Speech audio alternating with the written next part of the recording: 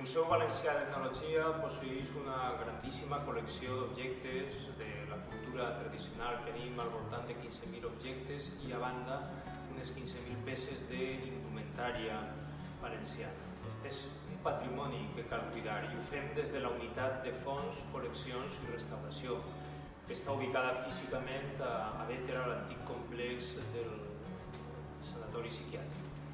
Allà els conservadors dediquen a inventariar els objectes, molts d'ells arriben per donació i les restauradores tenen cura d'este valuosíssim patrimoni conservant-lo per a les generacions futures.